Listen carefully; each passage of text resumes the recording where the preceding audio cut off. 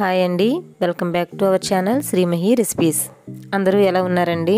ఈరోజు మీకు నేను చిన్న చిన్న స్టెప్స్తో ఈజీ ప్రాసెస్తో స్ట్రాబెర్రీ మిల్క్ షేక్ అనేది ఎలా తయారు చేయాలో చూపిస్తానండి. ఇక్కడ నేను పది తీసుకున్నానండి స్ట్రాబెర్రీస్. వీటిని మనం శుభ్రంగా వాష్ చేసుకుని పైన ఆకులను కూడా రిమూవ్ చేసుకుని ముక్కల కింద కట్ చేసి పెట్టుకోవాలి.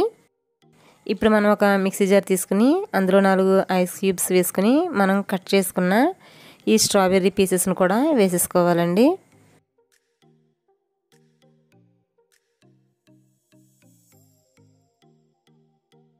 అందులోనే ఒక ఫైవ్ స్పూన్స్ షుగర్ యాడ్ చేసుకున్నాను.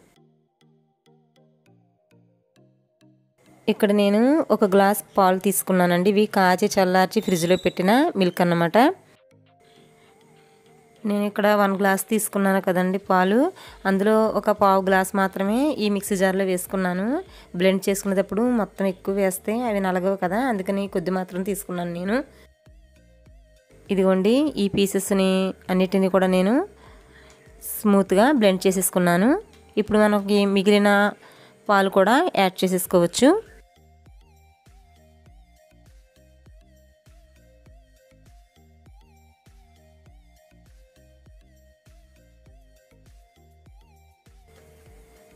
ఇక్కడ నేను స్ట్రాబెర్రీ ఐస్ క్రీమ్ని ఫోర్ స్కూప్స్ యాడ్ చేసుకున్నానండి.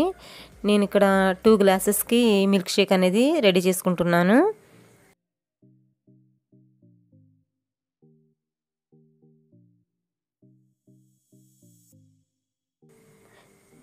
ఇప్పుడు ఈ మిశ్రమాన్ని అంతటిని మనం మరొకసారి స్మూత్గా బ్లెండ్ చేసుకోవాలండి. ఇక్కడ మనకి ఎంతో టేస్టీ అయిన స్ట్రాబెర్రీ మిల్క్ షేక్ అనేది మనకు రెడీ అయిపోయిందండి. దీనిని తాగడానికి పిల్లలు చాలా ఇష్టపడతారు.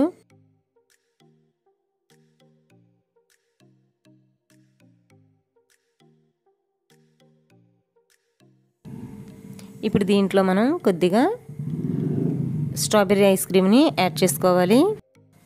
డైరెక్ట్గా ఇలా తీసుకోవాలంటే ఇలా తీసేసుకోవచ్చండి. లేదంటే కనుక పిస్తా జీడిపప్పు బాదం పప్పుని మనం సన్నగా కట్ చేసుకుని గార్నిష్ చేసుకోవచ్చు.